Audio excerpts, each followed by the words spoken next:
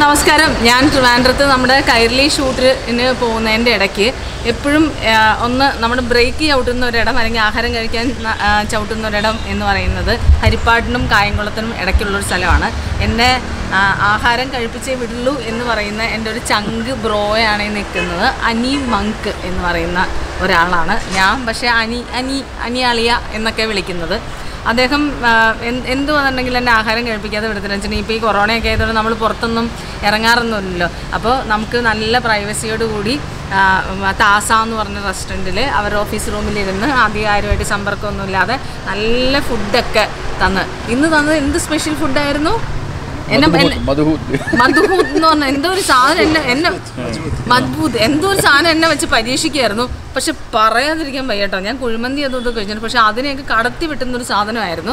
ഭയങ്കര. നമ്മൾ അതിനെ വെച്ചൊരു വീഡിയോ ചെയ്യാൻ ഉദ്ദേശിക്കുന്നുണ്ട്. അത് പിന്നെ അതല്ല പറയാൻ വന്നത്. പക്ഷെ വരുന്ന വഴിക്ക് പറഞ്ഞു ഇവിടെ ഒരു എന്തോ ഒരു ഭയങ്കര സംഭവം നടക്കുന്നുണ്ട്. അവിടെ ഒന്ന് ഇറങ്ങിയിട്ട് പോവാന്ന് പറഞ്ഞ എന്നെ ഇങ്ങോട്ട് കൊണ്ടുവന്നിരിക്കുകയാണ്. എന്താണ് ഓൾറെഡി ഞാനും കണ്ടിട്ടില്ലായിരുന്നു എന്തായാലും നമ്മുടെ ഒരു സുഹൃത്തിന്റെ കുറച്ച് വരകൾ കണ്ടിട്ടാണ്. ആർട്ട് ഗാലറിയിൽ വെച്ച്. ആർട്ട് ഗാലറിയിൽ വെച്ചിട്ട് ഒരു ചെറിയ പ്രദർശനം കുറച്ച് ചിത്രങ്ങളൊക്കെ ആയിട്ട് ചിത്ര പ്രദർശനമാണ് നടത്തുന്നത്. അദ്ദേഹം ഗൾഫിലുള്ള ഒരു- പ്രവാസിയാണ് അദ്ദേഹം. സുധീരൻ സുധീരൻ പ്രയാർ. സുധീരൻ പ്രയാർ എന്ന് പറഞ്ഞ അദ്ദേഹത്തിന്റെ ഒരു ഇത് കണ്ടിട്ട് പോയേ പറ്റുള്ളൂ. അത് അതാണ് അതൊരു നല്ല സംഭവമായിരിക്കും ഓൾറെഡി ഞാനും കണ്ടിട്ടില്ല പുള്ളിയെ. നേരിൽ കണ്ടിട്ടില്ല. പറഞ്ഞു കേട്ടിട്ടേ ഉള്ളൂ. നിങ്ങൾ നാട്ടുകാരനാണ്. അതെ അതെ നാട്ടുകാരനാണ്. നാട്ടുകാരനാണ്. അദ്ദേഹത്തിന്റെ വരകൾ നമ്മൾ എഫ് ബി കണ്ട് ഭയങ്കര ഗംഭീര ആംബിയൻസ് അത് കാണാൻ തന്നെ. ആണ്. പഴയ നൊസ്റ്റ ഫീൽ. നൊസ്റ്റു ഫീൽ അത് പ്രത്യേകിച്ച് നിങ്ങൾ നാട്ടുകാരെ സംബന്ധിച്ച് ഭയങ്കര നൊസ്റ്റു ആയിരിക്കും. അല്ലേ? അപ്പോൾ അപ്പൊ എന്നെയും ആ നൊസ്റ്റുവിലേക്ക് കൊണ്ടു ചെല്ലാനായിട്ട് എനിക്കൊരു പ്രചോദനം തന്നിരിക്കുകയാണ്. അപ്പൊ എന്റെ ഒരു ചങ്ക് ഫ്രണ്ട് ഇദ്ദേഹം വലിയൊരു കലാകാരനാണ്. ഒത്തിരി സ്റ്റേറ്റ് അവാർഡ് എന്തൊക്കെ അവാർഡ് കിട്ടിയാലും കിട്ടിയിട്ടുണ്ടോ? പറ. എന്തൊക്കെ അവാർഡുകൾ പോയിട്ടുണ്ട്. ചില ഡോക്യുമെന്ററികളൊക്കെ ഡോക്യുമെന്ററീസും ഷോർട്ട് ഫിലിംസും ഒക്കെ ചെയ്ത് സ്റ്റേറ്റ് അവാർഡ് ഒക്കെ കിട്ടിയിട്ടുള്ള ഒരു സ്റ്റേറ്റിലേക്കൊക്കെ ഒന്നും എത്തിപ്പെട്ടിട്ടുണ്ട് അപ്പം അടുത്ത് തന്നെ കിട്ടും. അപ്പം അങ്ങനെയുള്ള ഒരു അവാർഡ് വിന്നിങ് ഒരു എന്താ പറയുക ഷോർട്ട് ഫിലിം മേക്കറാണ് പിന്നെ ഈ നാട്ടിൽ ഏറ്റവും കൂടുതൽ സോഷ്യൽ വർക്കർ എന്നുള്ള രീതിയിലാണ് എനിക്ക് ഞാൻ ഇദ്ദേഹത്തെ പരിചയപ്പെട്ടിട്ടുള്ളത്. നമ്മൾ സാജു കുടിയൻ ചേട്ടൻ വഴിയാണ് നമ്മുടെ മിമിക്രിയിലെ സാജു കുടിയൻ ചേട്ടൻ വഴിയാണ് പരിചയപ്പെട്ടതെങ്കിലും. പക്ഷേ എനിക്ക് തോന്നുന്നു അദ്ദേഹത്തെക്കാൾ കൂടുതൽ ഞാനിപ്പോൾ ഈ ട്രിവാൻഡ്രം പോകുമ്പോഴത്തെ ഏറ്റവും കൂടുതൽ ഇദ്ദേഹത്തെ കാണുന്നത് ഞാനാണെന്ന് തോന്നുന്നു.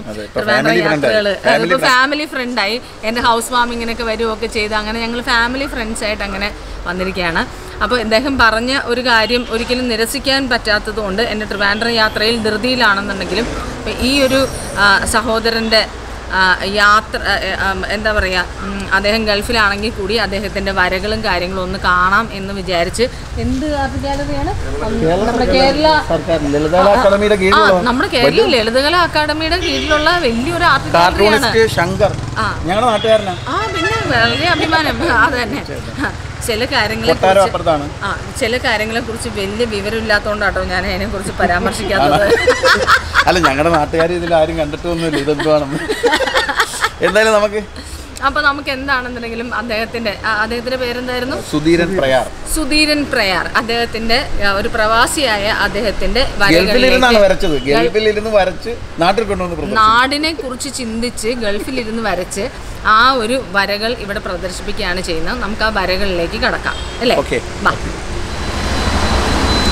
അപ്പോൾ നമ്മളിന്ന് പരിചയപ്പെടാൻ പോകുന്നത് ഗൾഫിൽ ഇരുന്നുകൊണ്ട് തന്നെ സ്വന്തം നാടിനെ മറക്കാതെ സ്വന്തം നാടിനെ ഓർത്തുകൊണ്ട് തന്നെ സ്വന്തം ജോലിക്കിടയിലും സ്വന്തം നാടിനെ ഭയങ്കരധികം ഉള്ളിൽ ഏറ്റിക്കൊണ്ട് ആ, ഒരു നൊസ്റ്റാൽജിയെല്ലാം മനസ്സിലേറ്റിക്കൊണ്ടിരുന്ന് നല്ല വര വരയ്ക്കുന്ന ഒരു നല്ല മികച്ച ഒരു കലാകാരനായിട്ടുള്ള സുധീർ ഏട്ടനെയാണ് നമ്മളിന്ന് പരിചയപ്പെടാൻ പോകുന്നത്.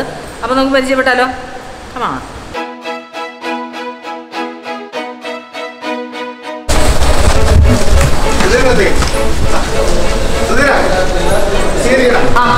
ഹലോ നമസ്കാരം. സുധീര ചേട്ടാ.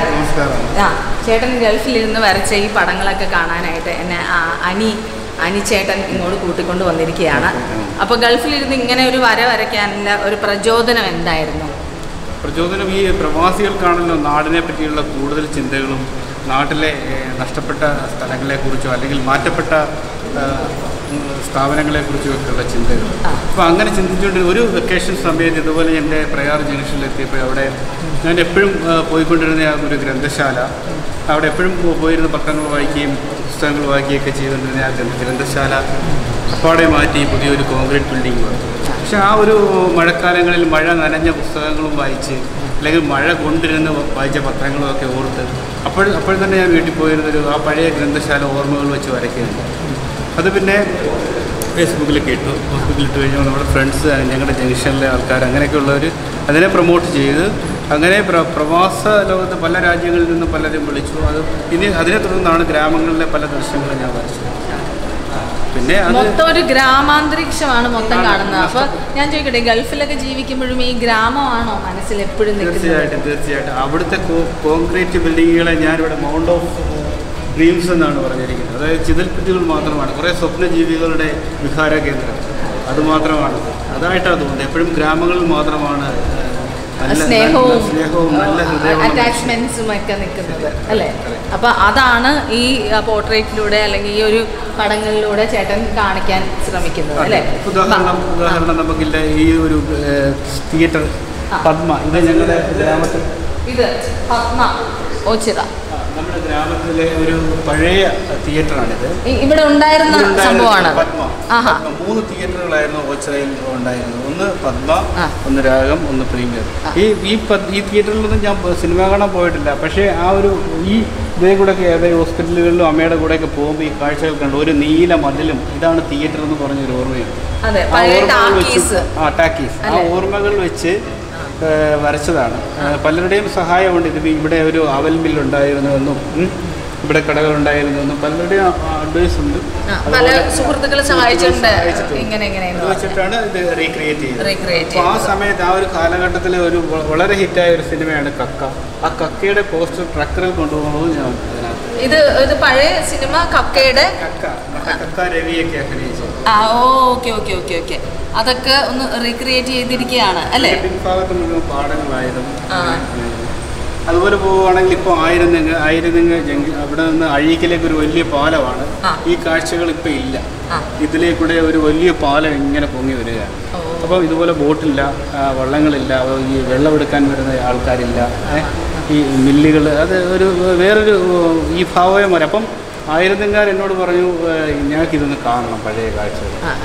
അപ്പം ഞാനിത് ആലോചിച്ചു പലരുമായിട്ട് ഡിസ്കസ് ചെയ്തു പല മുതിർന്ന ആൾക്കാരുമായിട്ട് ഡിസ്കസ് ചെയ്തു. അപ്പം അങ്ങനെ ഒരു സ്കെച്ച് ഇട്ടു സ്കെച്ച് ഇട്ടതിന് ശേഷം അത് ഷെയർ ചെയ്തു എന്തൊക്കെ മാറ്റമുണ്ട് അത് വെച്ചിട്ട് മെമ്മറി നിന്നു. എന്റെ ഞാനിവിടെ ഇവിടെ വിസിറ്റ് ചെയ്തിട്ടുണ്ട്. ഈ അക്കരയ്ക്കും ഇക്കരയ്ക്കും കടൽ കാണാൻ പോകാനും ഒക്കെ പോയിട്ടുണ്ട് ആ ഓർമ്മകളൊക്കെ വെച്ച് ചേട്ടൻ ബോട്ടിലൊക്കെ ആയിരുന്നോ ഈ വെള്ളത്തിൽ ഇതേപോലെയാണ് ഇതുപോലെ ചെറു വെള്ളത്തിൽ പോയിരുന്നത് ഇതുപോലത്തെ ബോട്ടായിരുന്നില്ല. ജസ്റ്റ് ഇത് കായലാണ്. കായൽ കഴിഞ്ഞാൽ ഇത് കടലാണ്. അപ്പൊ ഈ ക്രോസ് ചെയ്യാൻ ഈ വെള്ളമാണ് ആ ഇത് ഈ കണ്ണകി? കണ്ണകി അവിടെ ഉള്ള ഒരു ഒരു വള്ളത്തിന്റെ പേര്. വള്ളത്തിന്റെ അവർ അവിടുത്തെ എല്ലാരും കണ്ണു വെച്ച് അത് കണ്ണകി എല്ലാരും കണ്ണു വെക്കുന്ന ഒരു ഭാഗമൊക്കെ സുനാമി അടിച്ച് തകർന്നു പോയതാണ് സുനാമി അടിച്ച് ഈ ഭാഗമൊക്കെ സുനാമി അടിച്ച് തകർന്നു പോയതാണ്. എന്നാലും ഇപ്പൊ അത് നല്ലതായിട്ട് ഇരിക്കുന്നു അല്ലേ കണ്ണകീനെ എല്ലാവരും കണ്ണു വെക്കുന്ന ഒരു ബോട്ടായിരുന്നു അല്ലേ? ഇതൊക്കെ ചേട്ടന്റെ ഫ്രണ്ട്സ് അല്ലേ? അത് മാഡം ഈ വള്ളത്തിന് പല പേരുകളും പറയും. ഈ നമ്മുടെ ഇവരുടെ ഒരു കൺസെപ്റ്റ് അനുസരിച്ച് ഇതിന് നമുക്ക് വഴി തെറ്റിയാലും വള്ളം ഇനി എത്തിക്കുക എന്നുള്ള ഒരു കൺസെപ്റ്റ് അതായത് അതായത് സ്രാങ്കിന് വഴി തെറ്റിയിട്ടുണ്ടെന്നുണ്ടെങ്കിലും ബോട്ട് എങ്ങനെയെങ്കിലും ഇങ്ങോട്ട് ബോട്ടിന് നല്ല വെളിവുള്ളതുകൊണ്ട് ഇങ്ങോട്ട് എത്തിക്കുന്നുള്ളത്. അപ്പൊ ചേട്ടന്റെ ഫ്രണ്ട്സ് അല്ലേ ഇതൊക്കെ? അപ്പൊ ചേട്ടന്റെ പേരെന്താ? മനോജ് രാജേഷ്. ചേട്ടൻ. പിന്നെ ചേട്ടൻ. സോമനാഥ് സോം സോമലാൽ. സോമനാഥ് സോമലാൽ. രമേശ്. രമേശ്. ആകാശ്. ഇതിന്റെ വൈഫാണ്. ആ ഇത് പ്രിയതമ പ്രിയതമ. എത്ര വർഷമായി കല്യാണം കഴിഞ്ഞിട്ട്? കല്യാണം കഴിഞ്ഞിട്ട് എത്ര ആയി പറഞ്ഞു ചേട്ടന് ഓർമ്മയില്ലെന്നേ. എനിക്ക് എനിക്ക് എന്റെ നാടും എന്റെ നാട്ടിലെ വോട്ടും കാര്യങ്ങളും ഒക്കെ ഓർമ്മയുള്ളൂ. എനിക്ക് എന്റെ വൈഫിനെ എപ്പോ കല്യാണം കഴിച്ചെന്ന് ഓർമ്മയൊന്നുമില്ല. എത്ര നാളായി ചേച്ചി കല്യാണം കഴിഞ്ഞിട്ട്? പതിനേഴ്. പതിനേഴ് വർഷമായി. അപ്പൊ പിന്നെ ഇച്ചിരി ഓർമ്മയൊക്കെ മായ.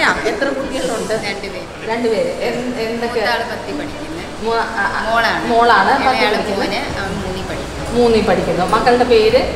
പേര് നിഫശ്രീ എന്നാണ് നിഭശ്രീ. നിഫശ്രീ അച്ഛനിട്ട പേരാണ്. അച്ഛനിട്ട പേര്. അച്ഛൻ ഭയങ്കര ക്രിയേറ്റിവിറ്റി ആയതുകൊണ്ട് അങ്ങനെ ക്രിയേറ്റീവ് ആയിട്ടുള്ള പേരുകൾ മാത്രമേ ഇടുന്നുള്ളൂ വളരെ വെറൈറ്റി ആയിട്ടൊരു പേരെ കിട്ടിയത് അതെ. വീട്ടിലെന്ത് വിളിക്കും അപ്പോൾ മൂളുട്ടീനെ ആ മോളൂട്ടി. അതാ നല്ലത് കേട്ടോ. നിപശ്രീ എന്നൊക്കെ വിളിച്ച് എന്റെ പൊന്നെ വല്ല വഴക്കൊക്കെ പറയാൻ നേരത്ത് എടി നിപശ്രീ എന്നൊക്കെ വിളിച്ച് ഭയങ്കരമായിട്ട് പാടുവിട്ട് പോകും. അപ്പൊ അതുകൊണ്ട് അത് തന്നെ. പിന്നെ മോന്റെ പേര്? നിവേദ് കൃഷ്ണ. നിവേദ് കൃഷ്ണ. അത് വലിയ കുഴപ്പമില്ല. മോനെ നിവേദ എന്നൊക്കെ വിളിക്കാം. നിവേദു എന്ന് വിളിക്കുന്നു. അങ്ങനെ. അപ്പൊ നമുക്ക് ചേട്ടന്റെ പലതരത്തിലുള്ള പടങ്ങളൊക്കെ ഉണ്ട്. അതൊക്കെ ഒന്ന് കവർ ചെയ്തിട്ട് ഓടി നടന്ന് കവർ ചെയ്യാം. വേൾഡ് ഫേമസ് ആയിട്ടുള്ള എന്താ എന്ത് സംഭവം ഉള്ളത് യൂറോപ്പ് വരെ പോയ ഒരു പടമുണ്ട് ഉണ്ട്. ഇവിടെ ഫൈവ് സ്റ്റാർ ഇത്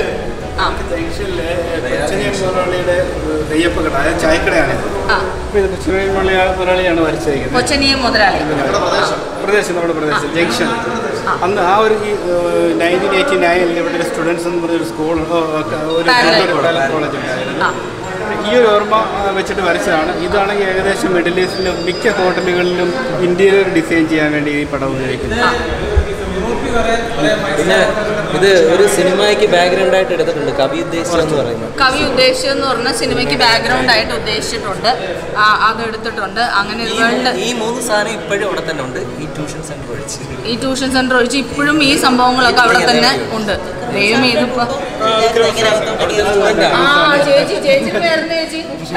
ഉഷ ചേച്ചി ഉഷ ചേച്ചി വന്നിട്ട് പറയുന്നത് വിക്രം സാറിന്റെ ട്യൂട്ടോറിയൽ അത്? ചേച്ചി അവിടെ പോയിട്ടുണ്ടായിരുന്നു?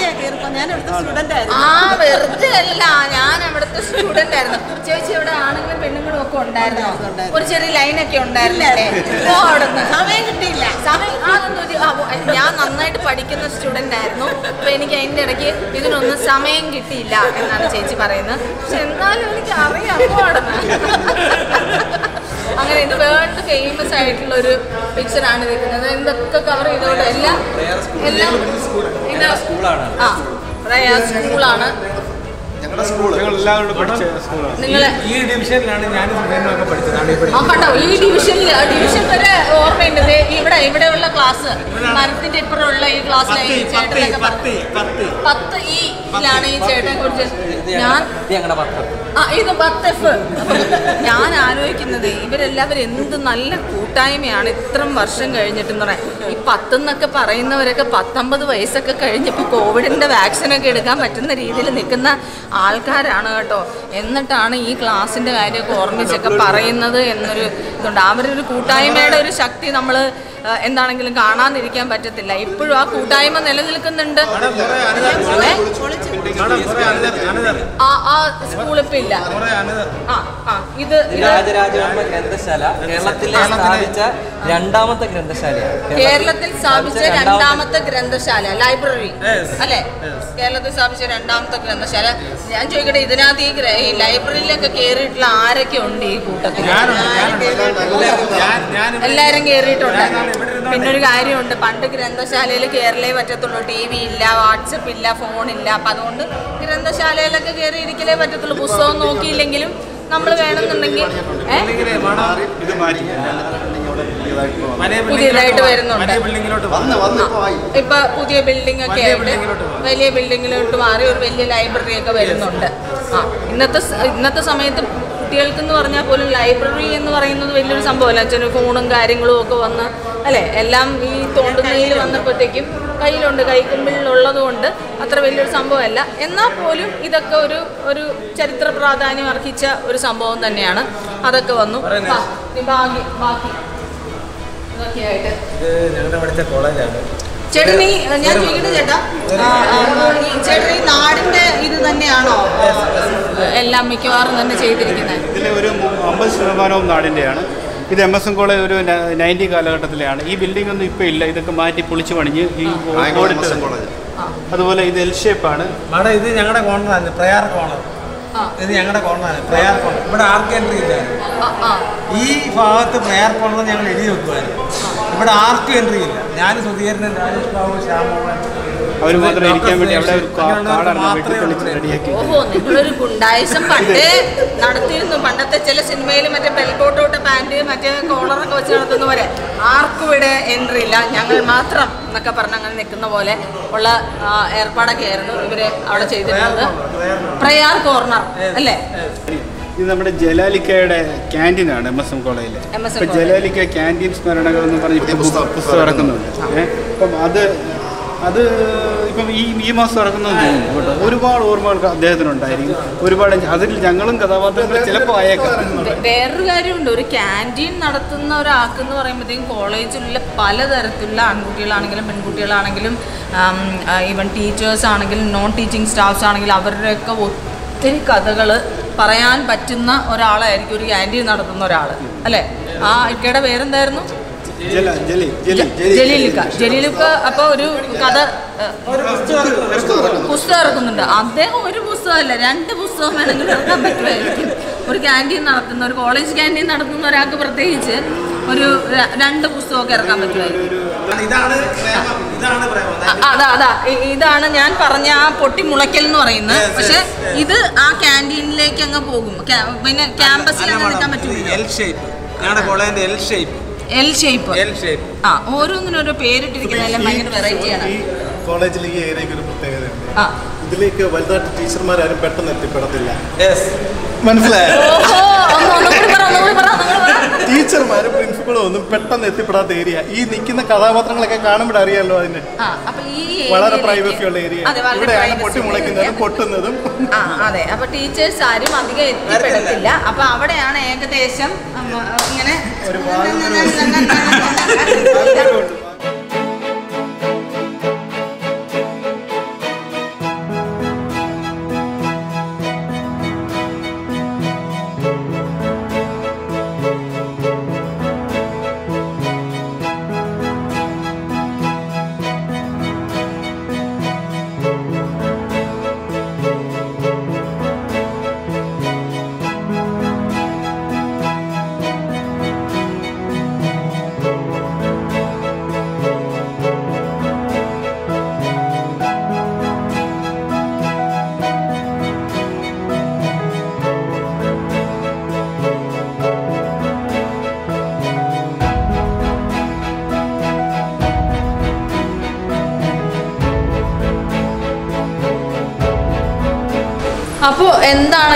ഭയങ്കര ഭീകര കാഴ്ചകളൊക്കെയാണ് നമ്മൾ കണ്ടുകൊണ്ടിരിക്കുന്നത് കേട്ടോ. ഈ നാടിന്റെ ഒരു നന്മ അല്ലെങ്കിൽ നാടിന്റെ ആ ഒരു ഇത് നമ്മുടെ കായംകുളം ബസ് സ്റ്റാൻഡിന്റെ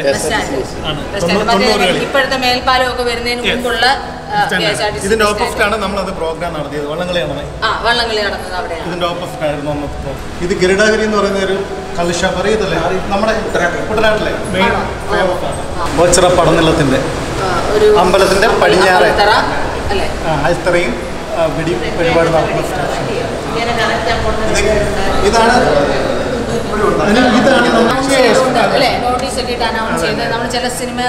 അപ്പോൾ അപ്രതീക്ഷിതമായിട്ടാണ് ഞാനിവിടെ അനിച്ചേട്ടൻ കാരണം ഇറങ്ങിയതെങ്കിലും പക്ഷേ ഇതൊരു ഭയങ്കര സംഭവമായിപ്പോട്ടെ ഈ നാടിന്റെ ഒരു നന്മ വിളിച്ചോതുന്ന ഭയങ്കര നൊസ്റ്റു അടിക്കുന്ന പ്രത്യേകിച്ച് ഇവിടുത്തെ നാട്ടുകാർക്ക്. ഞാനിവിടെ ഒരു പുതിയ ആളാണെങ്കിലും ഭയങ്കര നൊസ്റ്റാൽജിയ വരുന്ന രീതിയിലുള്ള ഒരു കുറേ പടങ്ങൾ ഇത്ര റിയലിസ്റ്റിക് ആയിട്ടുള്ള ഒരു എന്താ പറയുക ഒരു ആർട്ട് ഗാലറി അല്ലെങ്കിൽ ഇങ്ങനത്തെ ഒരു പടങ്ങളൊന്നും ഞാൻ കണ്ടിട്ടില്ല ഇതുവരെ.